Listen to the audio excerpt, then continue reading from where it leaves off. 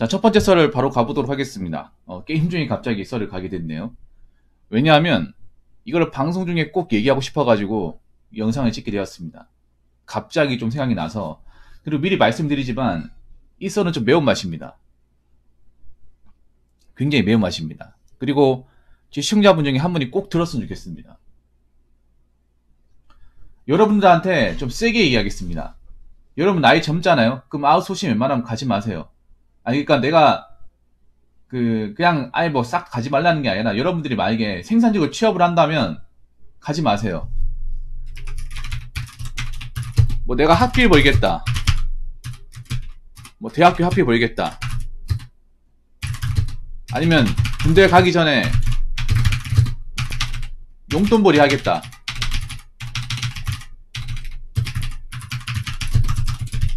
이런 게 아니라면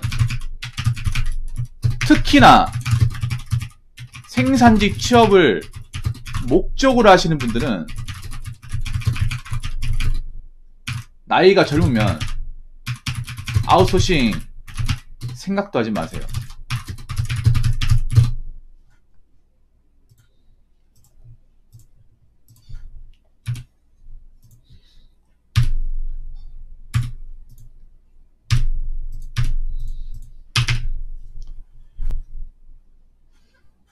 저 이 말씀 왜 드리냐? 그 어린 나이 때부터 아웃소싱만 이제 들어가시는 분이 있어요. 제 방송에. 아웃소싱만. 그렇다고 나이가 많은 것도 아니에요. 근데 저분을 보니까 저런 분들이 있어요, 여러분. 제가 저 상도동님 뿐만 아니라 아웃소싱을 처음부터 들어가서 어, 좀 안 좋은 경험을 하고 뭔가 사람적인 대우를 못 받는 분들의 케이스가 종종 있어요. 여러분들 이해가 안 될 거예요. 저 역시도 좀 이해가 안 됩니다. 아니, 나이가 어리면 좀 큰 기업에 지원해서 버틸 만큼 버텨서 정 아니겠다 싶으면 아웃소싱 하든가 뭐 그러면 되잖아요. 아니면 거기 쭉 있던가. 제가 생산직에 대해서 몇 가지 얘기했잖아요. 대기업 생산직은 나이를 많이 본다고. 예. 네. 나이가 정말 중요하다고. 아무리 스펙이 좋고 학점이 좋아도 나이가 많으면 안 뽑아준다고. 무조건 안 뽑아준다고. 나이가 어리면 스펙이 좀 부족해도 뽑아주는 기업들이 있어요. 뭐 자소서 같은 거 잘 쓰면 무스펙도 들어가는 케이스가 극수로 있긴 합니다. 근데 나이가 많아 버리면 그딴 거 다 필요가 없어요. 그래서 여러분들이 한 30세 이전이다. 남자 나이 한 30세 이전이면 아웃소싱은 생각도 하지 마시고 무조건 좋은 데 지원하시고 무조건 되든 안 되든 간에 음. 왜냐하면 아웃소싱에서 좋은 경험은 생길 수가 없습니다. 상도동님 좀 폐폭을 할게요. 니 맨날 와가지고 아웃소싱 뭐 직장인도 욕하고 어 사람들이 안 좋다 얘기하잖아. 근데 왜 들어가는 거야? 좋은 경험 얘기는 하나도 한 적이 없어요. 내가 좀 매운맛 좀 세게 갈게요. 좋은 경험 할 수가 없죠 아웃소싱에. 왜냐하면 좋은 사람 있어야 좋은 경험을 하지 않겠습니까? 좋은 사람이 없잖아 좋은 사람이. 물론 모든 아웃소싱 일하시는 분이 다 나쁘다 이건 아닌데 상대적으로 또라이나 좀 정상적인 사고에서 좀 벗어나신 분들이 아웃소싱에 생각보다 많이 있습니다.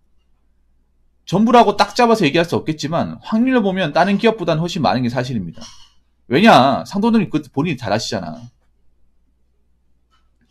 이 아웃소싱이란 게 사실 왜 지금 또 이미지가 안 좋냐 하면 제조업이 근로하신 분도 아시지만 아웃소싱이 어떻게 보면 생산직에서 마지노선이 마지노선. 정말 이제 부하고 부하고 해가지고 정말 이제 받아주는 곳이 없다. 들어갈 데가 없다고 생각할 때 문을 들기는 곳이에요. 그렇기 때문에 좀 개인적으로 사정이 있거나 좀 여의치 않은 분들이 많이 있어. 그럼 그분들이 열심히 일하고 정상적으로 살면 되겠지만 정상적으로 살지 못해요. 이상한 데 빠져 있어. 뭐 유흥에 빠져 있다거나 도박 코인에 빠져 있다거나 이미 그걸로 빚을 지고 갚으려고 여기 왔는데 갚는 사람도 있겠지만 갚기는 그냥 이번 생은 글렀다는 생각으로 다시 빠지는 사람도 있어요. 코인이나 주식에. 그런 사람들하고 올리다 보니까 당연히 좋은 경험 생길 수가 없는 거예요. 그래서 올 때마다 아웃소싱에 대해서 안 좋은 얘기밖에 할 수 없는 겁니다, 상도동님. 제 말이 틀렸습니까? 그거 아세요? 내가 아웃소싱에 대해서 안 좋은 얘기 하잖아. 근데 본인 그게 있잖아요. 어떻게 보면 얼굴 침뱉게. 왜냐, 나도, 나도 맨날 아웃소싱만 경험했잖아. 음? 나도 거기 계속 발을 담근 사람이잖아요. 왜 본인은 정상이고 다른 사람 이상하다 생각을 해? 안 그래요? 아웃소싱 몇 번 겪어보면 알잖아요. 아, 여기가 왜 사람들 질이 안 좋은지 알 것 같다. 그러면 조금이라도 내가 좋은 사람과 아니면 좀 열심히 사는 사람과 일을 하려면 조금이라도 작업 현장이나 직원들 같은 거 이제 대우 잘해주고 규모가 큰 데 가야 되는 거 아니야, 여러분? 사람들이 왜 대기업 가려고 하겠어? 대기업센지 왜 가려고 할까? 물론 거기 가면 텃세도 있고요. 뭐 진급 같은 것도 빡시고 귀도 심합니다. 대신에 왜 가냐 하면 돈도 많이 주는 것도 있지만 사람들이 그나마 정상적인 사고를 가진 사람들이 많기 때문에 물론 거기도 또라이가 있긴 하지만 아웃소싱보단 덜해요. 월등하게 덜합니다. 이게 여러분 얼마나 큰 차이를 만들어주는지 아십니까? 특히 젊은 사람들은 아웃소싱에 가지 말라고 하는 이유가 뭐냐면 아웃소싱에서 일하는 질 나쁜 근로자들과 이래서 나쁜 영향을 받을 수 있습니다. 내가 이거를 절, 젊은 사람들 보고 가지 말라고 하는 게 이거예요. 제가 아까 얘기했죠. 대기업보다 아웃소싱이 이런 좀 소위 말하는 정상적인 범죄에 벗어나는 분들. 그런 분들이 훨씬 더 많을 가능성이 큽니다. 이건 여러분들 아웃소싱을 한 번이라도 해봤으면 아실 거예요. 왜 그러냐. 아웃소싱은 자격 요건이 없습니다. 특별한 자격 요건이 없어요. 사진 멀쩡한 누구나 다 받아줍니다. 나이도 그렇게 빡빡하게 보지 않습니다. 그래서 뭐 불, 불법 체류도 받아주고 다 받아줘요. 신용 불량자도 받아주고 원래 그렇게 하면 안 되거든 사람 뽑을 때. 근데 다 받아줍니다. 개인 파산하는 사람도 받아주고 다 받아줘요. 그래서 여기서 일하시는 사람들 중에 어중이 떠중이도 굉장히 많아요. 각가지 사연을 가지고 있는 사람들 많아요. 근데 그 중에 뭐 열심히 사는 사람도 있어. 근데 약간 인생을 놔버린 사람도 있습니다. 근데 이게 문제가 뭐냐면 그런 사람이 멀쩡히 일하는 사람들 피해를 줘요. 특히 나이 젊은 친구들. 어, 자꾸 뭐 이제 주점 같은 데 데리고 가고 자꾸 뭐 토토나 이제 온라인 게임 꼬시고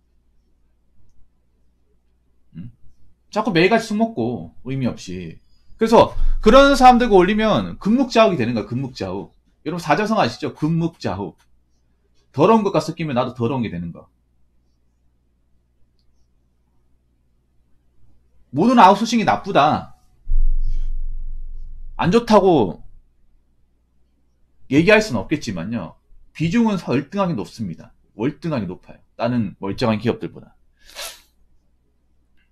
여러분 한번 생각해봐. 우리가 알만한 기업들은 아무나 다 받아줍니까? 그냥 뭐 비딛고 뭐 신상 안 좋아도 받아줘요? 안 받아주잖아요. 여러분. 근데 아웃소싱은 받아줘요.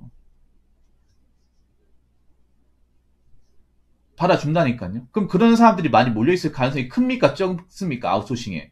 크지 않겠습니까? 그럼 그 중에 그렇게 인생에서 이제 파란만장하게 사신 분들이 많이 모이는데 거기에서 정상적으로 돌아갈까요? 정상적인 대화가 오고 갈까? 정상적인 사람과 얘기하면서 친해질 수 있을까요? 못 친해집니다. 특히 나이 어린 친구는 제가 발을 담그지 말라고 하는 이유가 이런 이유예요. 나이가 어리니까 그런 사람들의 먹잇감이 될 가능성이 큽니다.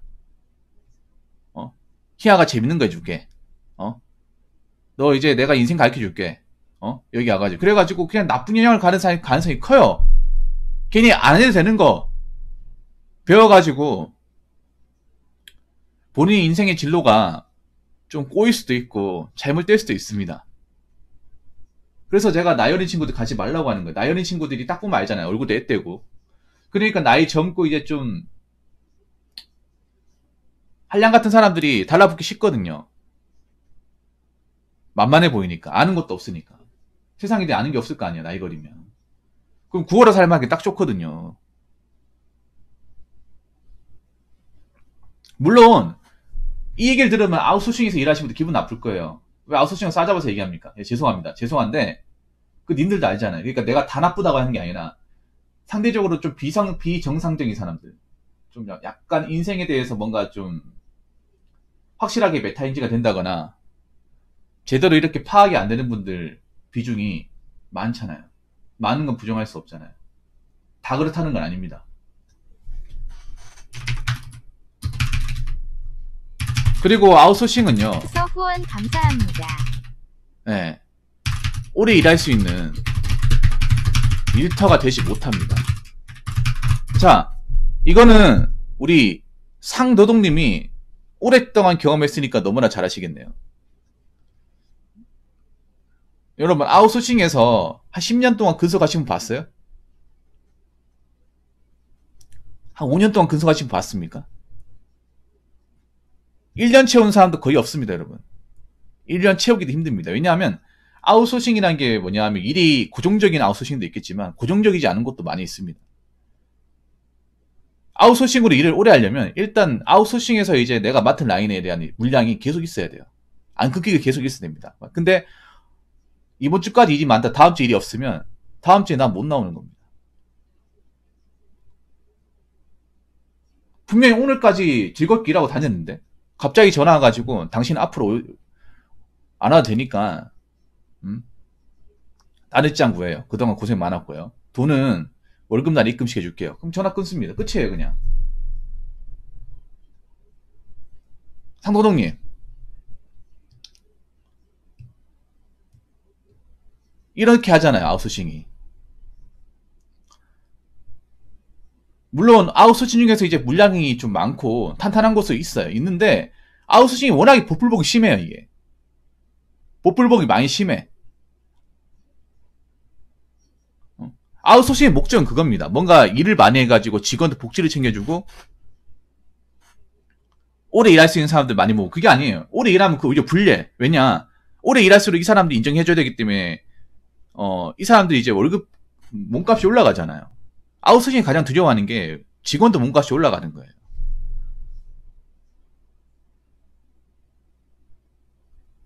그리고 물량이 끊기는 겁니다. 그래서 아웃소싱은 그런 거예요. 아무리 공장이 오늘까지 잘 돌아갔다 하더라도 다음 주에 계획된 물량이 없으면 다음 주부터 못 나오는 겁니다.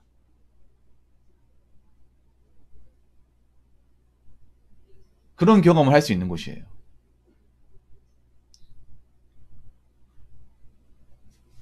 그리고 마지막으로 한 가지만 더. 아웃소싱에 한번 발들이면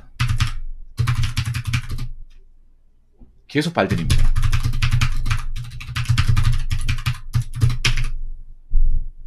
약간 마약 중독처럼 계속 발들여요. 술, 담배 계속 빠진 것처럼. 아웃소싱만 가면 계속 아웃소싱만 가게 돼. 물론 아웃소싱에서 한번 좀 더러운 경험하고 난 다음에 이런 데서 두 번 다시 일 안 하겠다 해가지고 정말 좀 과감하게 나와가지고 이제 직장을 구하는 사람도 있어요. 그런데 아웃소싱에 발을 들이는 사람이 계속 아웃소싱 쪽으로만 계속 떠들고 이리 갔다 저리 갔다 하는 사람이 많이 있어요. 제 방송에도 우리 상도동님 말고도 많이 있어요. 몇 분 계십니다.